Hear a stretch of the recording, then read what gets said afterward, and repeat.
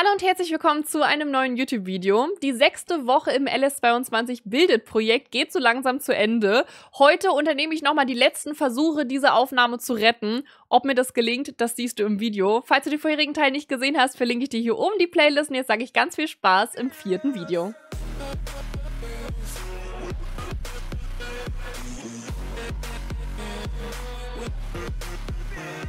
Moin Moin YouTube, herzlich willkommen zurück zum LS22 im Bilde 2 Projekt. Hier ist euer Commander Keule und wir stehen gerade noch am Landhändler mit allen. Der Tino ist mit dabei, der Milo ist mit dabei und auch die Sophie ist mit dabei und dann diskutieren wir gleich mal etwas weiter. Wenn uns der Ditcher nicht mit seinem Hund davonjagt. Ja, also jetzt ist mal Ruhe hier. Der Händler macht jetzt Feierabend und sie alle verschwinden hier. Wenn wir einfach Wie, wie, rübergehen wie, wie, Zaun. wie, jetzt ist, wie jetzt ist Feierabend. 4 Uhr Ja, Feierabend. ich ist habe hier einen 4 Termin Uhr. mit dem Herrn Essert. Vier? Nee, nicht um 4 Uhr. Ich, Pass auch ruhig. Aber Ditzer, Herr Ditzer, wir, wir haben was ganz Wichtiges, vielleicht interessiert das Sie auch. Nee, private Themen können wir morgen bereden. Geschäftliche auch. Ne, das ist ja nichts Gesetzliches, hier ist ein Schwerverbrecher unterwegs. Nee. Doch. was, ein Schwerverbrecher? Ja, ein Wie schwer ist er Schwerverbrecher. denn? Ja, Ja, das will ich aber auch wissen. Also er ist so um die 1,75, 76,5 Zentimeter groß und wiegt so um die 95,6 Kilo. Und Das nuschelt ist wirklich schwer. Der Ja. nusselt, der nusselt extrem. Also ich habe den kaum verstanden. Ich weiß nicht, kennt ihr einen Herrn Bappo, äh, Beppi, Bappo? Be keine Ahnung. Nee. Kennen die noch nicht mal? Ist das der Förster oder was? Die könnte sein, ja. Der hat doch bei Also- dir Bäume gemacht, Celia. Äh, Frau Frank, ja, ja, ja, ja, genau. Bei mir hat er sich vorgestellt, dass der irgendwie vom Umweltamt ist. Nee, der ist der Förster. Jetzt kommt aber der Clou. Der Herr Hammerstiel hat mich gerade äh, verbal fast angegriffen, verständlicherweise, weil ich angeblich äh, Geschichten erfunden hätte und äh, den Herrn Böppi oder wie er heißt, auf ihn aufgehetzt hätte. Aber das stimmt nicht. Und dann fiel mir ein, dass er gesagt hat, als er bei mir eine Birke gefällt hat, da, weil da auch angeblich der Borkenkäfer drin wäre, dass der Herr Ferser ihn zu mir geschickt hätte, weil der Herr Ferser sich beschwert hätte, dass meine Birke die umstehenden Bäume der Stadt mit dem Borkenkäfer befallen würde, wenn er nicht sofort gefällt wird. Interessant, höre ich das erste Mal. Ja, und ich habe das, was der Hammerstiel mir gesagt hat, zum ersten Mal ge gehört. Das heißt, wir haben jetzt die Vermutung, dass hier irgendeiner ist, der uns gegenseitig versucht aufzuhetzen an, aufeinander. Ich glaube. Ich glaube, der hört sich eher an, als hätte jemand schlecht geträumt. Ja, das haben wir uns auch gedacht. Ja. Er wird sagen, jetzt gehen mal alle schön ins Bettchen Jetzt. und morgen um 6.30 Uhr können sie wieder aufschlagen. Auch sehr viel In- Interesse besteht hier. Moment. Hammerstiel. Merkst du das? Äh, ja, ich das schon. Na gut, kann man nichts machen. Vielleicht ergibt sich ja nochmal was. Also ich war ja, das auf jeden Fall nicht. Nee, So. das, da weiß ich auf jeden Fall Bescheid. Und Sally, Ja, Hannes? Ja, falls du irgendwann so einen nuttelnden, brabbelnden Typen siehst, hörst oder sonst was und der sagt irgendwie, der wäre von mir, Oder auf von gar mir? keinen Fall. Ja. Äh, okay. Ja, ich, ich glaube euch das dann mal. Wir haben ja bisher ruft- nur gute Erfahrungen die- miteinander die gemacht. blau-weißen Männer an, Genau. von der Polizei und dann Herr Titscher als Dienstaufsichtsbehörde, ich glaube, dass der Herr Ferser da dem Herrn Esser doch in ein Geschäft reinzwingt. äh, Ja, ich fünf früh. jetzt mal gucken, ja. So, Hasso muss auch nochmal um die Ecke. Also, meine Herren. Mhm. Ja, gute Nacht. Tschüss. Schönen. Abend. Ja, tschüss. Morgen früh, also gleich. Kann man, darf So. ich mein. Nein, Nee, ich nein, nein, nein. oder? Herr Ackermann hat zu tun. Nee, ich, der darf doch gar nicht mehr arbeiten. Psst. Herr Ackermann, sagen Sie mir schnell den Preis. Ähm, Nur meinen Wald- Insgesamt gespannt hätten wir bei 20.502. Wer schafft? denn? Hannes, Hm? Ich habe doch noch ein Gut bei dir, ne? Vielleicht? Würdest du mir dein Lohnunternehmer ausleihen? Mein Lohn, der arbeitet ja gerade gar nicht. Ja, ich meine halt ab sechs. Ab sechs? Mhm. Boah. Für wie lange? 20 Minuten? Na, wahrscheinlich ein bisschen länger. Wie? Also.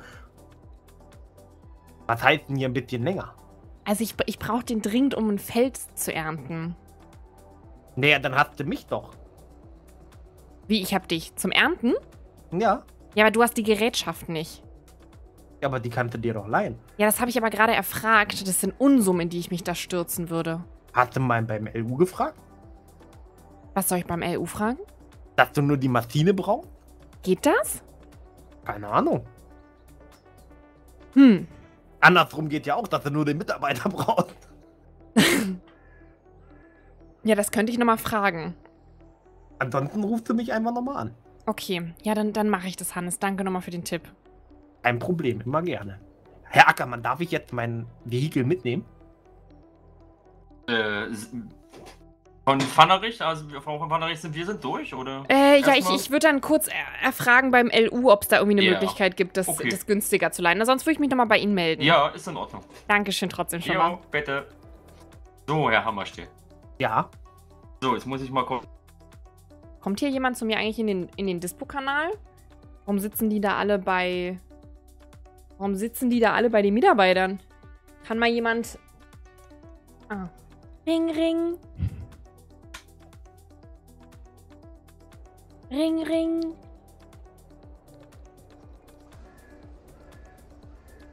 Ring, ring.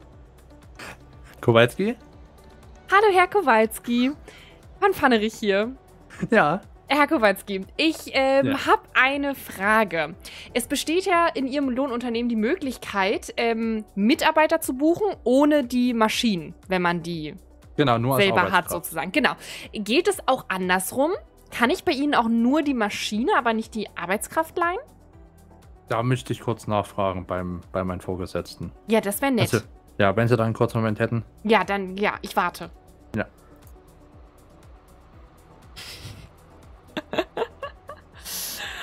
Oh Mann, oh. Okay, ähm, ja, dann, das wäre geil. Das wäre tatsächlich geil, wenn wir uns den... Scheiße, ich muss dieses... Ich muss das Feld leer kriegen. Ich muss. Wenn ich es nicht machen kann, muss ich meinen... An, muss ich den anderen LUler da jetzt, ähm... abziehen. Von dem anderen Feld und muss ihn erst das Feld ernten lassen da. Scheiße. Ja, äh, Frau van, van Vannerich? Äh, ja, Herr Kowalski? Ja, das geht leider nicht. Das geht nicht. Nee, also nur Maschinen verleihen wir nicht. Okay. Weil müsste ich jetzt auch mal fragen, haben Sie einen LKW-Führerschein, den CE-Schein? Äh, Ja, natürlich. Seit, Haben Sie? seit 15 Jahren schon. Das- Wie alt sind denn Sie bitte? Also ich weiß, sowas fragt man nicht, aber Äh, alt genug? okay. Also ich hätte jetzt so von der Stimme her so und was mir so die Kollegen erzählt haben, hätte ich sie ja so auf äh, Anfang 20 geschätzt. Na, ein bisschen älter schon. Aber Bisschen es ist nett, wenn ich so jung klinge. Ja, okay. Nee, gut, nee, also, nee, also dann, nee, dann, also wie gesagt, geht trotzdem, also geht trotzdem nicht. Tut mir leid. Hm, okay. Kann ich dann äh, bei Ihnen einmal den LU-Mitarbeiter, der jetzt gerade bei mir auf dem Feld tätig ist, könnte ich, weil ich habe ein Feld, was ganz dringend bearbeitet werden müsste. Ja, also sollte das mal kurz pausiert werden quasi. Äh, genau, und da erst eine andere Arbeit vorgeschoben werden. Ja, was wäre das denn für Genau, eine es Arbeit? müsste dringend das Feld 24 geerntet werden. Ach, das mit den Zuckerrüben? Hm, genau. Ja gut, das ist ja gehopst wie gesprungen, würde ich sagen. Ne? Also das eine ist eine blöde Arbeit und das andere... Genau. Es ist beides eine furchtbare Arbeit. Aber ich, ich bräuchte eben auf dem Feld 24 die Baufläche. Deswegen wäre das Ja. wichtig. Ja, nee, dann sage ich dem Bescheid, dann soll er das pausieren. Das wäre toll. Und Denken Sie denn, dass das schafft er jetzt innerhalb der nächsten 30 Minuten? Nee. nicht, ne?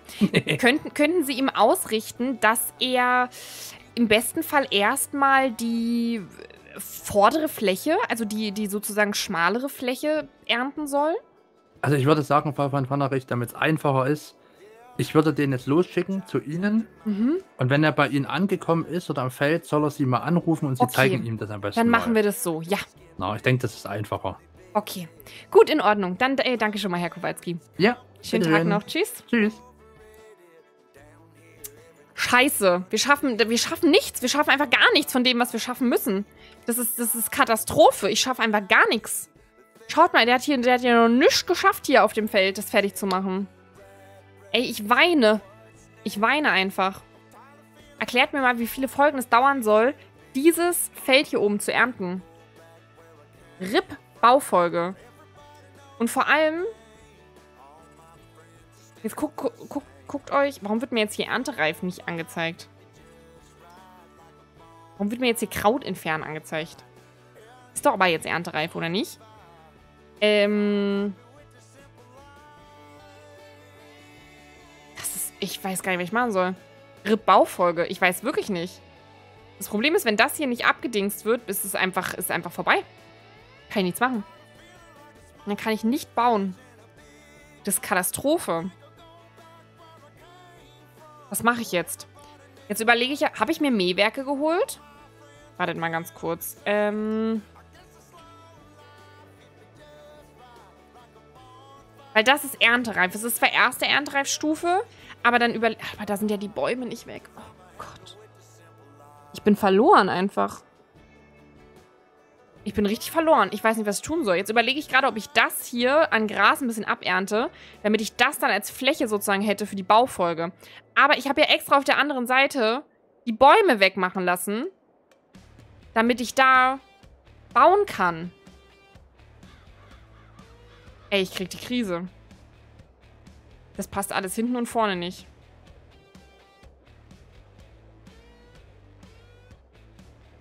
Furchtbar. Das ist, das ist dramatisch. Das ist super dramatisch. Ich weiß nicht, was ich tun soll. Also er soll, er soll quasi hier dieses vordere Stück erstmal machen. Aber ich werde trotzdem kaum Platz haben, hier großartig irgendwas hinzubauen. Also ich kann in der Baufolge den Bums hier ein bisschen begradigen und so, dass das alles irgendwie gerade ist. Und kann hier mal ein bisschen den Boden irgendwie hübsch machen und so. Aber mehr kann ich ja irgendwie gar nicht machen. Was soll ich tun? Was soll ich, was, was soll ich tun? Ich weiß es nicht. Und hier sind, die, hier sind die Bäume nicht weg. Ich meine, ich könnte natürlich trotzdem hier bauen.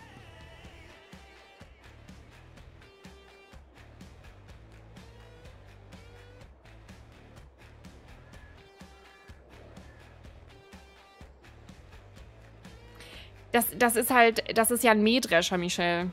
Also das ist ja kein Rübenroder. Ich brauche ja einen Rübenroder für das Feld und keinen Mähdrescher. Das ist halt äh, das Problem. Ich überlege jetzt tatsächlich, ob ich hier das Gras abernte und hier baue.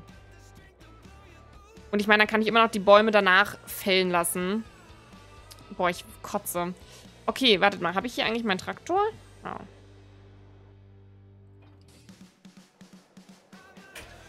Es ist alles furchtbar. Mm. Ja, aber ein Rübenroder zu, zu mieten, das ist einfach... Das ist zum Kotzen. Ähm, ich will meine Mähwerke jetzt erstmal haben. Stehen die hier?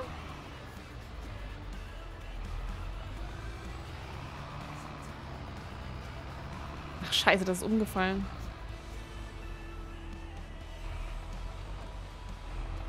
Oh!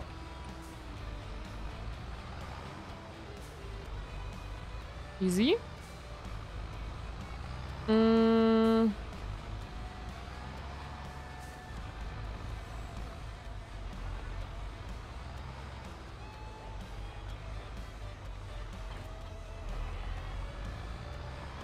Ich will auch nicht Rüben roden, das ist schon grundsätzlich auch richtig. Ich habe schon auch keinen Bock, Rüben zu roden, aber... Wie, das, also das ist... Guckt euch dieses Feld hier an. Leute, guckt euch dieses Feld an. Das ist der Über-Abturner. Gott, das ist ja so fürchterlich. Warum leckt denn das hier eigentlich so übertrieben doll?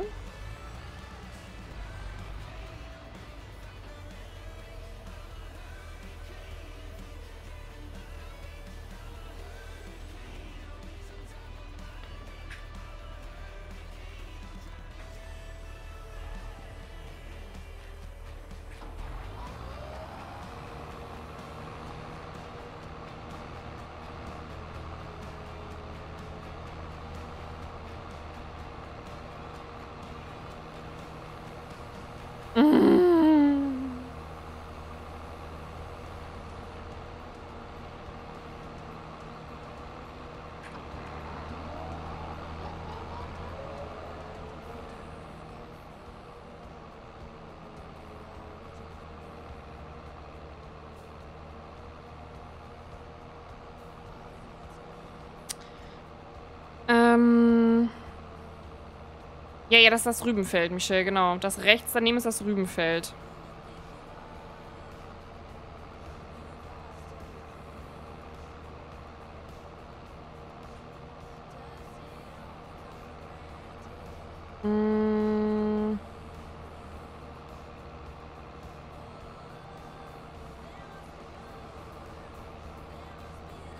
Ich mähe jetzt hier kurz zwei Bahnen oder drei Bahnen oder sowas weg, dann kann ich auf der Fläche bauen. Ich will ja eh eigentlich rundherum mein, meinen Hof ein bisschen erweitern. Oh, scheiße. Das ist alles irgendwie ungünstig. Es ist halt leider einfach richtig belastend, dass das so Kackaufgaben, dass das alles gerade so Kackaufgaben sind, die alle so lange dauern. Also ja, wirklich alles. Auch, dass ich es nicht geschafft habe, das Feld jetzt hier nebenan irgendwie wieder neu zu, äh, zu anzusehen und so. Ist auch kacke. Es ist alles kacke. Alles kacke. Hm.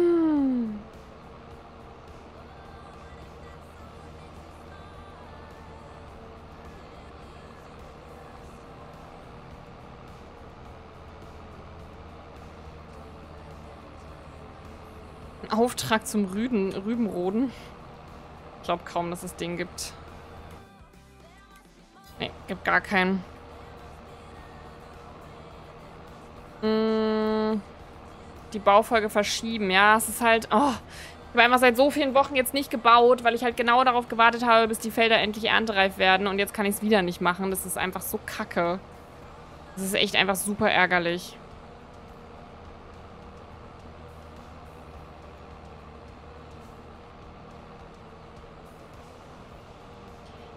Ich weiß nicht, ob ich vielleicht so eine Art Mini-Baufolge aufnehme, um halt wenigstens, ne, zum, zumindest, ich meine, weil ich habe ja die Stunde auch die Woche, damit ich wenigstens so ein bisschen begradige alles, ähm,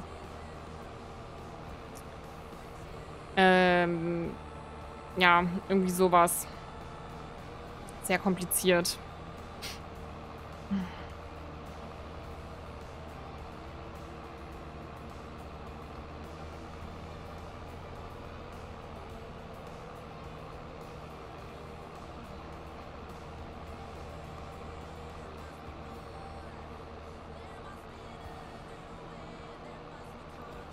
Ich sag mal so, ob ich die Bäume jetzt abfälle oder nicht, ist eigentlich egal.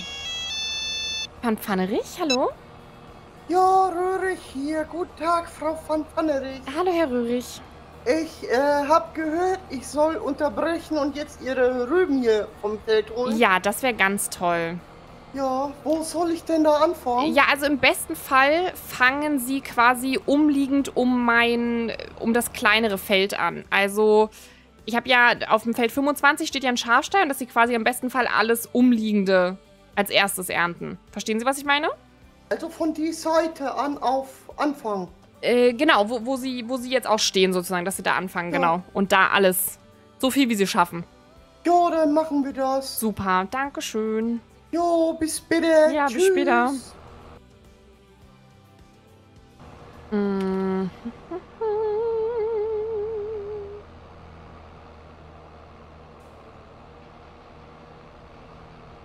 Ich will jetzt halt ungern auf die Rüben bauen, wenn ich wochenlang darauf gewartet habe, dass die erntereif werden. Und dann baue ich einfach drauf. Das ist halt irgendwie auch ein bisschen belastend.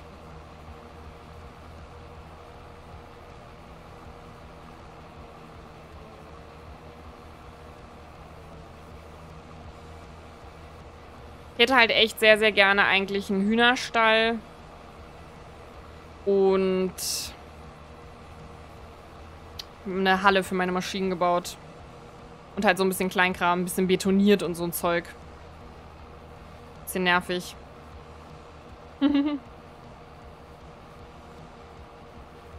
da merkt man einfach wieder, diese, diese zwei Stunden pro Woche ist einfach echt wenig. Ist wirklich schwer, in der Zeit guten Progress zu machen. So, eine Bahn mache ich jetzt hier noch.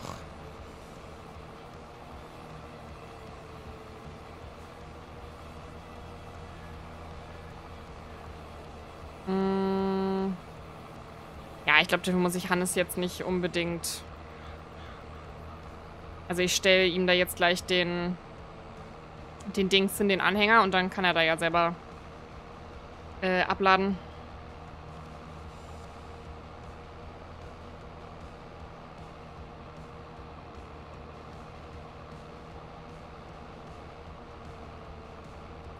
Es ist aber auch wirklich nur Scheißaufgaben, die da gerade zusammenkommen. alles Scheißaufgaben, die lange dauern gerade.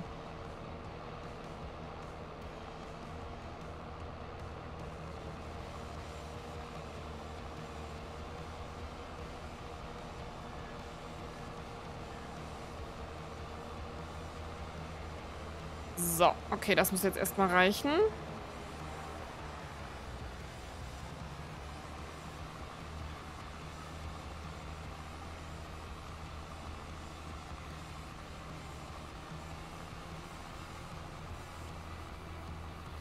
Der wird mit dem Silo nicht an den, äh, mit dem Ernter nicht an das Silo rankommen. Das steht dafür zu doof. Ich stelle ihm einfach den Anhänger hin. Das ist ja nicht das Problem.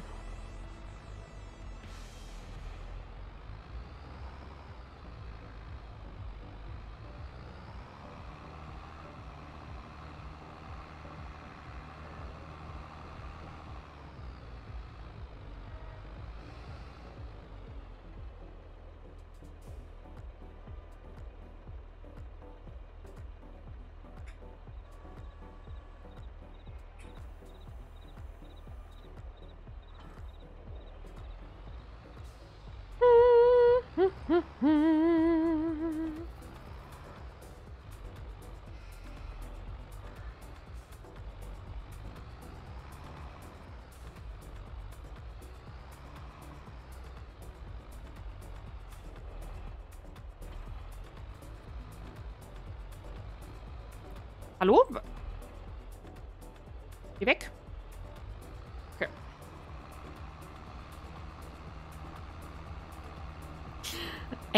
Nur das kleine Rübenfeld. Boah, das ist so schlimm.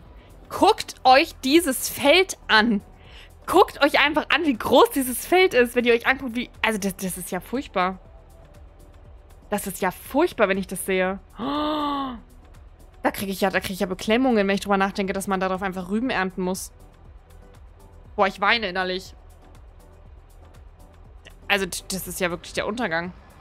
Ich weiß gar nicht, was ich dazu sagen soll. Wahrscheinlich müssen, also ja, keine Ahnung. Wahrscheinlich miete ich mir beim nächsten Mal einfach den Rübenroder mit. Und ernte mit. Ich habe keine Ahnung, was ich sonst machen soll. Das ist ja, das dauert ja eine halbe Ewigkeit. Ach man, warum komme ich da immer nicht durch? Es ist alles zu eng hier.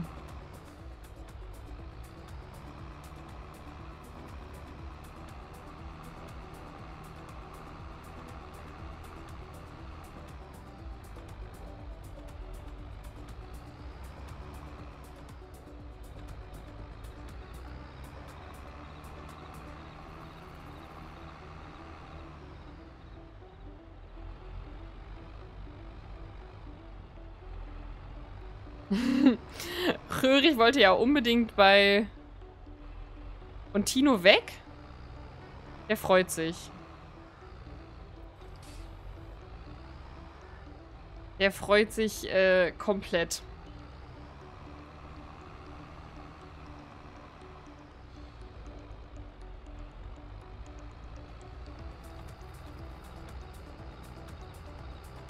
Ähm.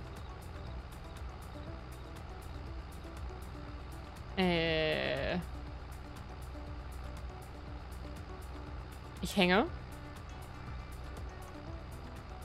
Ich.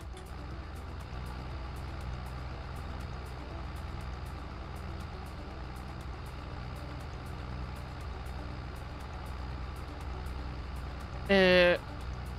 Hallo? Okay. Cool. Hm. Chillig. Chillig, chillig, chillig. Dachte, ich, ich fliege gerade schon.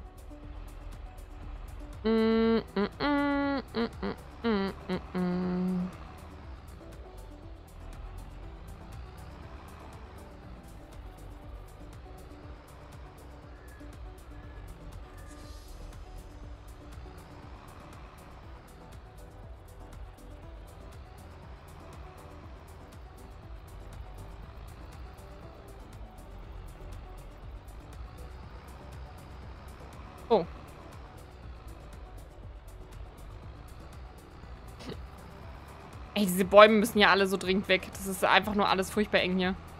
Als wenn ich da jetzt nicht drüber komme. Ach, come on.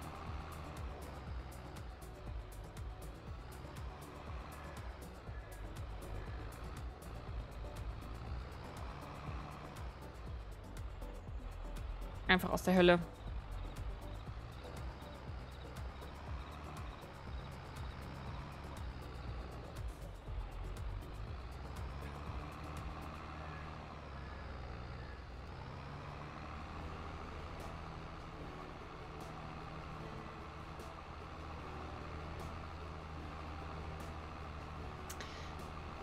Gott, fahr geradeaus, bitte. Dankeschön. Ähm. Ah, es ist alles Chaos. Es ist einfach alles Chaos.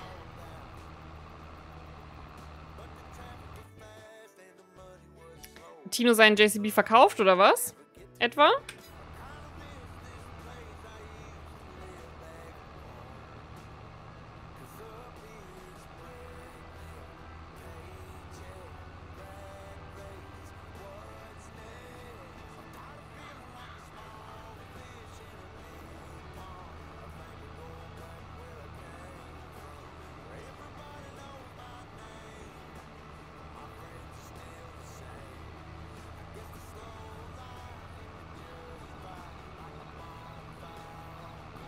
Ich habe zwei. Ich habe zwei Traktoren.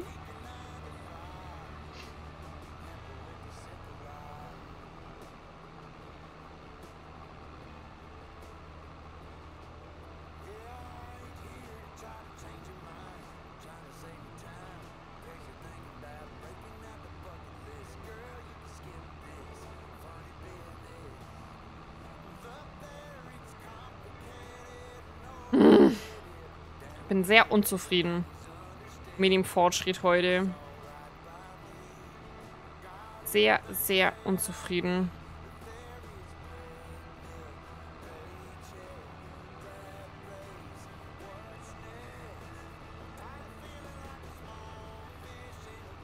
Aber den jetzt wieder meinen Traktor wieder zu verkaufen, um mir den JCB zu kaufen und ach, vor allem, das ist ja der, den, also der hat ja Safe auch schon richtig viele mh, Fünf Stunden hat er jetzt Runde? Okay. Ich hätte jetzt gedacht, deutlich mehr.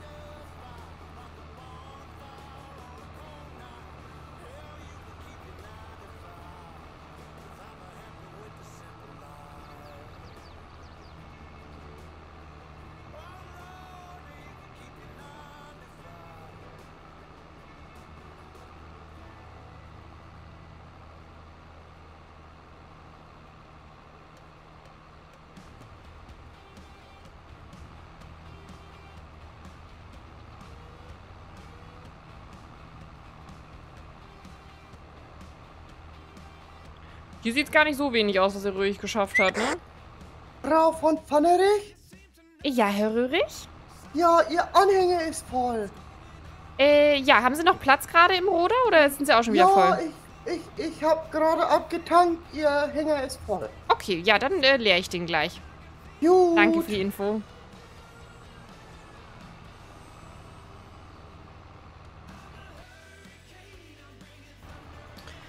Ja gut, nochmal schafft er eh nicht abzuladen. Mm. Also ist das eigentlich auch egal.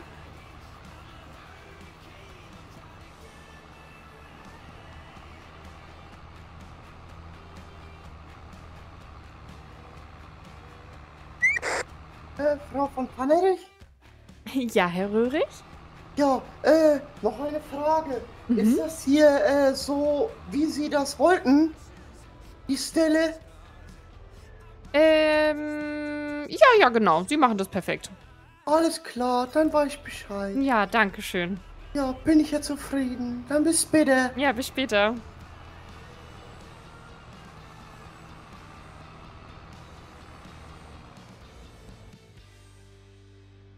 Hier einfach alles mitten auf der Straße liegt, auch hervorragend. Hm.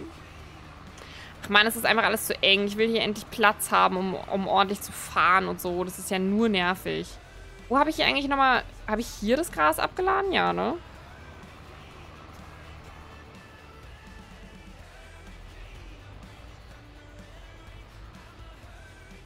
Es ist nur nervig. Mm. Ist er schon fertig? Hallo? Nimm mein Gras.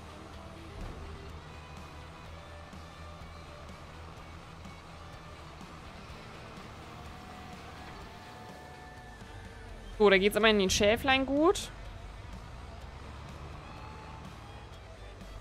Ich fahre jetzt hier oben durch, ne? Ist mir egal. Ich bin ja hier oben immer nicht durchgefahren, weil ich noch gedacht habe, komm, vielleicht nimm, erntest du das irgendwann mal mit ab, aber scheiß drauf. Die lassen mich jetzt nur hier irgendwo rüberkommen.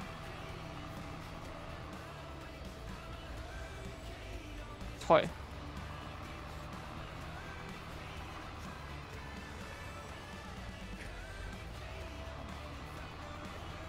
Toll, toll, toll.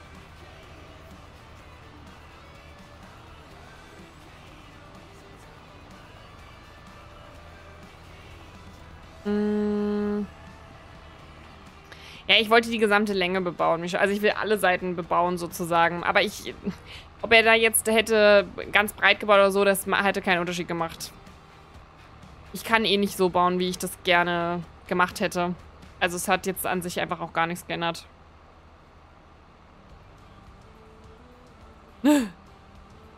Es klappt alles nicht so, wie ich das will. Bin mir noch nicht sicher, ob wir eine Baufolge machen diese Woche. Bin mir einfach noch nicht sicher.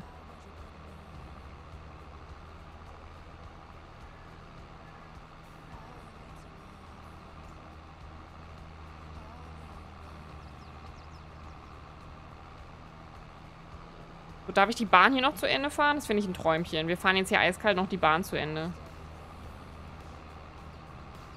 Für mein Gras. Das ist aber eine gute, ehrlich gesagt, das ist jetzt hier eine ganz gute Breite, auf der ich bauen könnte, ne? Also, theoretisch habe ich da jetzt eigentlich ganz gut Platz, um was zu machen. Ich muss mir halt nur Terraforming-technisch überlegen, was ich da so ein bisschen machen will. Hm. Wird auf jeden Fall schwierig. Ich werde mich auf jeden Fall, glaube ich, mal offstream hinsetzen und mal schauen, ja, was ich sozusagen am besten machen kann aus meiner Fläche. Aber so haben wir zumindest jetzt erstmal ein bisschen Freifläche geschaffen. War jetzt nur einmal noch nach vorne, weil falls wir bauen, dürfte ich ja eh den, äh, den Traktor wegfahren. Deswegen fahren wir den jetzt noch... Achso, mal aus dem Bums hier. Fahren wir den jetzt noch nach vorne zur Straße. Ja, eigentlich ist das nicht verkehrt. Ich kann ja hier auf der Fläche kann ich bauen. Das geht. Es würde gehen. Oh Gott. Hier liegt alles rum. Ich stelle mal, glaube ich, meinen Traktor jetzt auch einfach hier auf die Straße. So, damit er mich nicht stört beim potenziellen Bauen. Okay, ja, also ich bin... ich bin unzufrieden. Ich bin sehr unzufrieden äh, mit dem, was wir heute geschafft haben. Es ist einfach leider gerade, dass sich die Scheißaufgaben gerade häufen, die halt einfach enorm viel Zeit kosten. Ähm, äh, dass wir am Anfang diese kleine Challenge hatten, die war natürlich super spannend oder spaßig, aber hat mich natürlich auch einfach viel Zeit gekostet, die ich hätte anders irgendwie investieren können. Äh, vielleicht hätte ich mich auch dazu, ähm, vielleicht hätte ich mich auch dazu entschließen sollen, einfach aufs äh, Tiefenlockern von dem Feld zu scheißen, von dem Feld 18 da und das einfach direkt hätte, ähm, ja, direkt quasi hätte, ähm, ja, neu ansehen sollen. Aber egal, ist jetzt so, wie es ist. Ähm, nächste Woche mal gucken. Also ich denke mal, boah, ich weiß gar nicht. Also ich werde das Feld hier dann, denke ich mal, äh, komplett roden lassen, dass er das dann fertig machen soll. Das sollten wir eigentlich auch schaffen. Das Problem ist leider, dass einfach alle unsere Felder hier tiefenlockert werden müssen. Ich bin schon drauf und dran, mir einen Tiefenlockerer zu kaufen, weil das ist ja utopisch, was da alles so ist. Aber naja, ähm, we will see, was wir dann in der Zeit machen. Ist auf jeden Fall, ähm,